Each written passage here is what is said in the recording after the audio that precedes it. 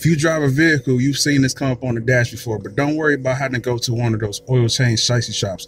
I'm going to show you how to take care of this with no problem and even save you a little cash. Stay tuned, Tep Auto, let's go.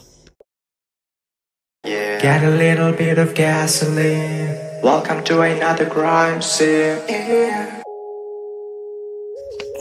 This little switch right here where the hood is up on it. Engine oil dipstick. Hood out.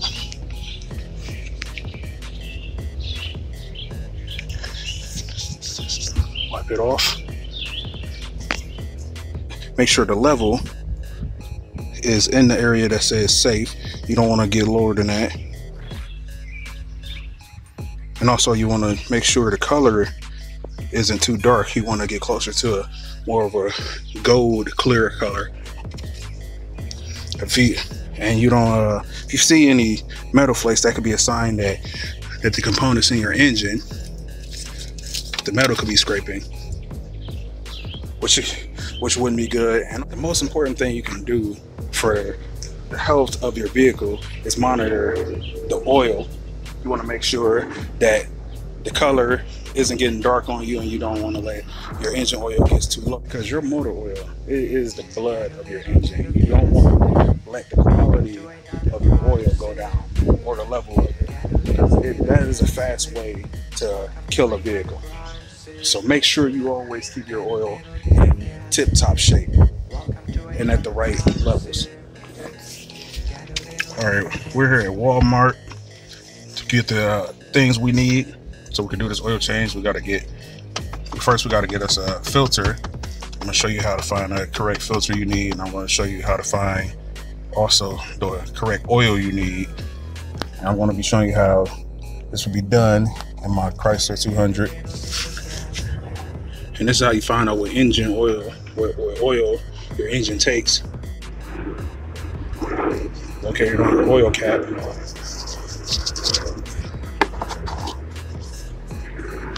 Size of motor, 2.4. All right, we're here in Walmart auto section. First thing we're gonna do, we're gonna come to this machine.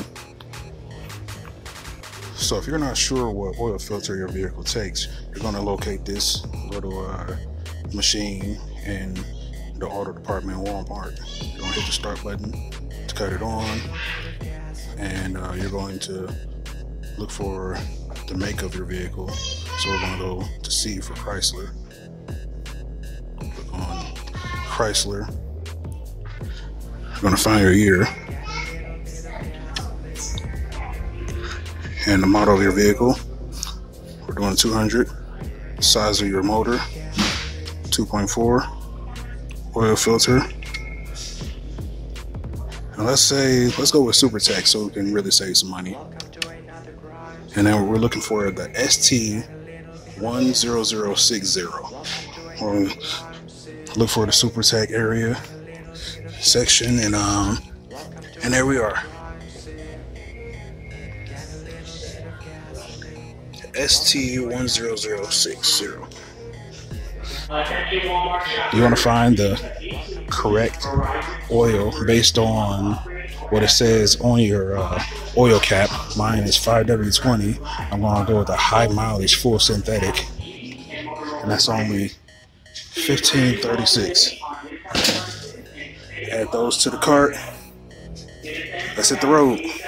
Also, Walmart got rid of those stupid arrows on the floor to tell you what direction you're allowed to go in.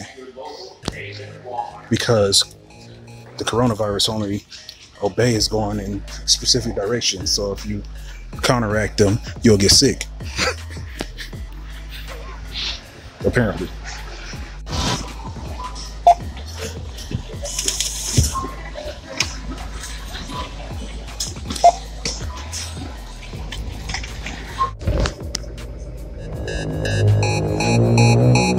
If you're one that's not comfortable with going under the vehicle while it's on a jack stand or jacked up in the air, you feel like it'll it'll fall on you. I'm gonna show you a little life hack that I utilize quite often. I wanna go up the curb. I'm gonna show you how I'm gonna do that.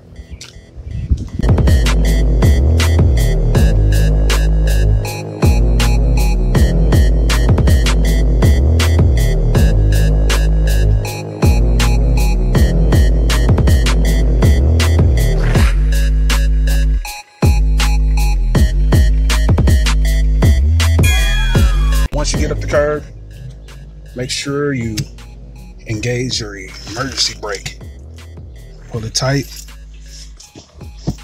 Kill the engine. Let's get started. So you want to get something to block that back tire to prevent any rolling.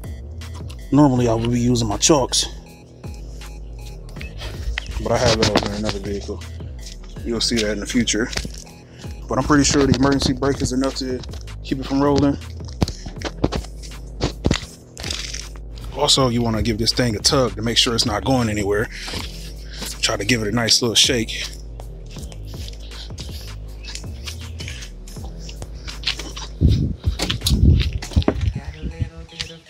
Yeah, this thing isn't moving.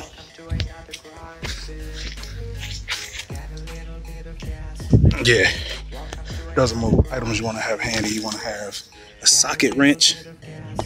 Have a socket wrench and a cloth. And you obviously want to have an oil pan. I got this from Dollar Tree. Guess how much I paid for it? A dollar, lucky guess. So let's go on and get under here. Alright. When you get underneath here, you want to go ahead and locate your oil pan and look for you want to look for that plug look for the plug located right here and there's your oil filter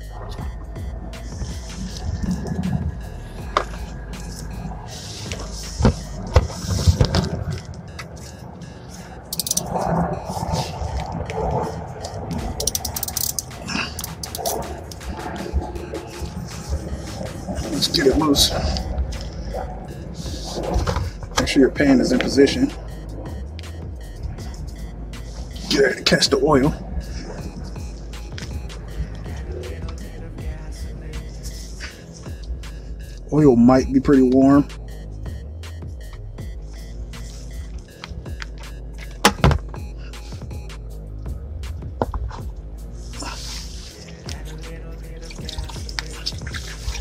Oh, one little hack that I like to do is um, if you if you can't find the, the correct washer that goes over your your drain plug, what I like to do is I like to grab some thread tape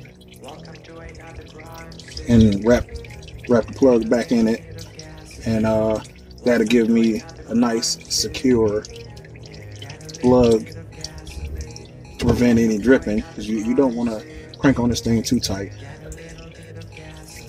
Let's see my shot.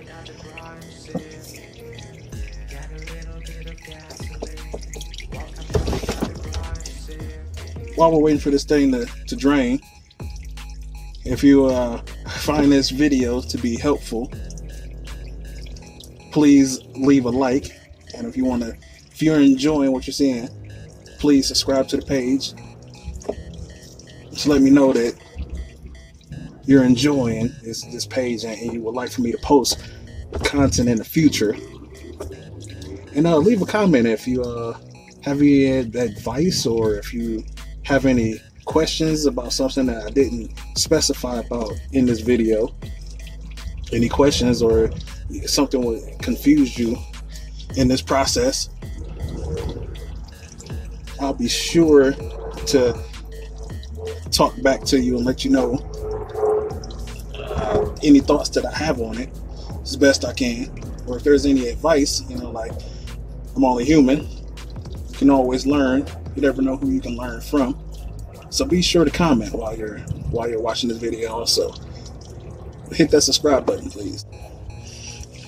Yeah, so now that that's all that's all emptied out, we got our plug all threaded. We're gonna go ahead and go ahead and screw that back in there. Get your wrench to to get it a little more secure. Make sure you have it on set to screw back on. It takes a it takes a 13 for mine at least. My 200 takes a 13 millimeter. Make sure you don't over crank it. Once it's on there snug, that's that's good enough because you don't want to you don't want to strip the threads. So once you get your oil all drained out, next thing you're gonna want to do is locate your oil filter. It's gonna be located right here. Go going from where the washer fluid is. You know, you could just pan it over, and it's parallel from the washer fluid. And there is the location of your oil filter. Sometimes you're able to just crank this off with your hand. But if you aren't able to crank it off with your hand, you might want to invest in one of these if you're going to be looking to do your own oil changes from now on. You want to you want to invest in one of these.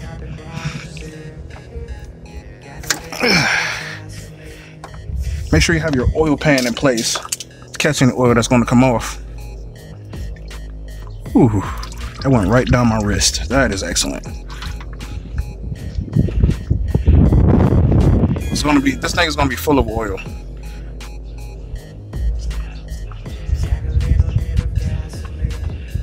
Oh man, look at that. I've forgotten the oil out. We're gonna go get our oil filter. All right, this is the new oil filter. Super Tech. One important step is when you get ready to use a brand new oil filter, you want to fill it up. You want to fill it up with oil because this is where your oil goes through first. Your oil goes through your oil filter first and into the motor. You don't want to let your you don't want to let your motor run dry. Go ahead and get that filled up.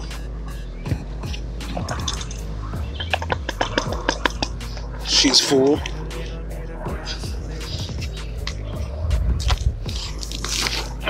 Go ahead and install your new oil filter.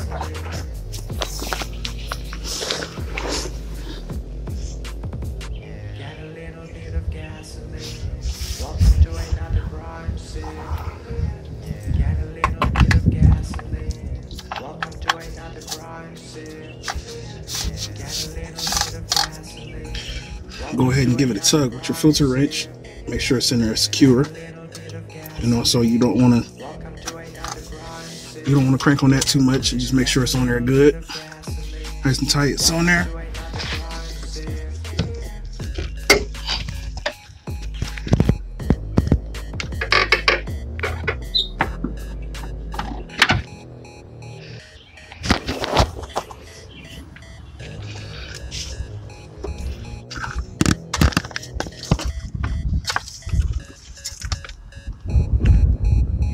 Bones right now. So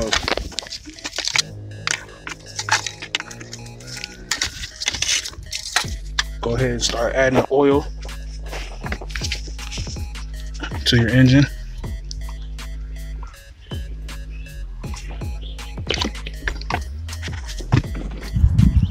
And it looks a lot better now too. And for the price of 200, you end up taking the entire five quarts.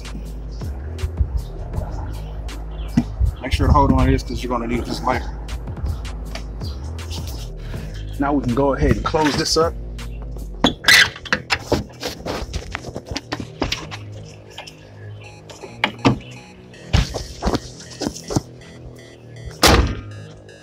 And you just completed your oil change on your Chrysler 200 without getting upcharged at the shop a bunch of crazy prices on goofy stuff you don't need. Last but not least, the final step, once you've successfully switched out your, your oil, one very important step is safe, proper disposal of your oil. So that's what we uh, held on to our jug for, is, is to ensure that we're able to do that successfully. So we're gonna take our drain pan, our drip pan. We're gonna take our drip pan. I got one question for you. What are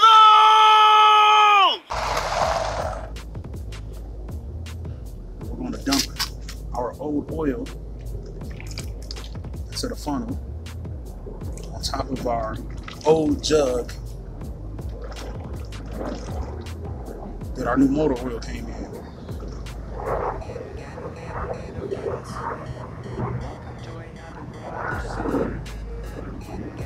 So once you went ahead and drain that off, you can go ahead and take that motor oil, that old stuff, go ahead and take that to one of your auto parts stores, one of your local auto parts stores, or you can take it back wherever you had purchased the, the, the motor oil from in the first place. And they will um, dispose of it in the proper way. Now, at all costs, you want to avoid starting your engine at any point during this during this process. You do not want your engine on. You do not want your engine trying to pull oil while there's no oil in your engine. But but now that you've completed your oil change and you filled the engine back up to the proper level, it's safe to go ahead and start your engine. She already sounds better. You can go ahead and take it out of the emergency brake. And now she's safe for you to bring her back down off the curb.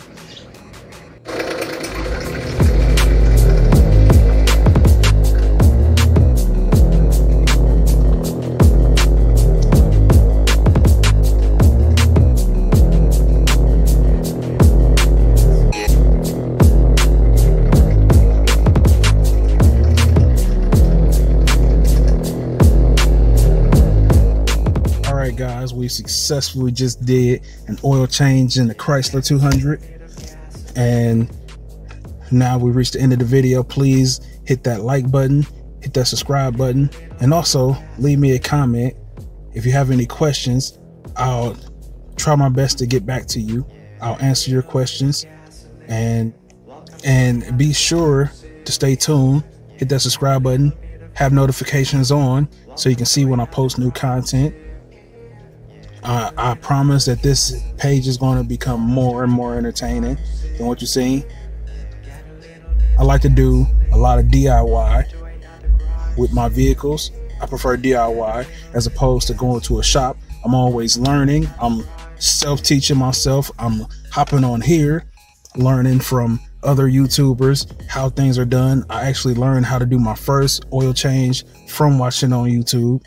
So if you guys are new to trying to work on your vehicles or you're looking for how to do things differently and do things on your own, quite frankly, please subscribe to the channel. We have lots of comments.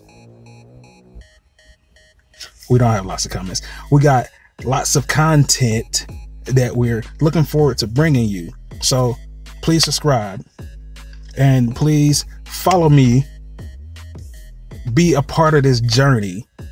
And let's let's grow this thing together. Let's I, am looking forward to it's, it's warming up. I'm going to be doing a lot of of uh tours. I'm going to be trying to get to some of these auto shows some of these uh car shows some of these uh we got we got the dream cruise coming up this fall. We got quite a few dream cruises in the motor city. I'm going to be posting a lot of that content I want to, and, and if you guys are as enthusiastic about the automotive industry as I am, I don't, I don't like to consider myself an expert. I'm, I'm just the same as any of you guys. So let's let's learn together. Let's grow together. Let's educate each other. Let's do this. Let's do this, guys. Let's get our first 100 likes. Let's get our first 100 subscribers. And when we hit 100 subscribers, I got a very special treat playing for you guys. I'm thinking, I haven't, I want to do something very special once I get my first 100 subscribers. Let's, I'm, I'm, I'm a, we're going to start with a small goal because I want you guys to be able to, to achieve that. So I believe in you guys. So I think, uh, what I want to do is when I get my first 100 subscribers, I'm going to I'm going to I'm gonna, I'm gonna you know what I'm going to I'm going to drop a freestyle. Yeah, I'm going to drop a freestyle to the, the I'm going to drop a freestyle to this page theme song. Yeah. Yeah. Yeah, I like that. You like you guys like that? I'm going to drop a freestyle to this page. Oh man, look at this. Hold on, hold on from this green challenger. This Hummer is going down over here. It's a green challenger.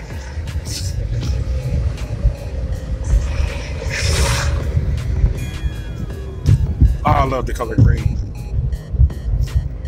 Love the color green.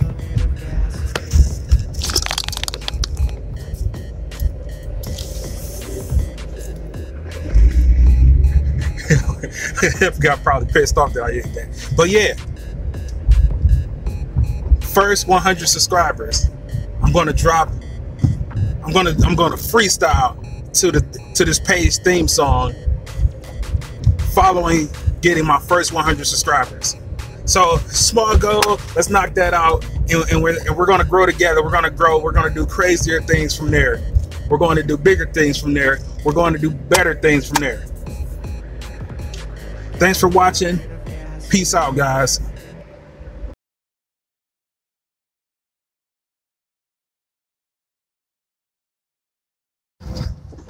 One thing about these drain plugs, they can be pretty tough to take off.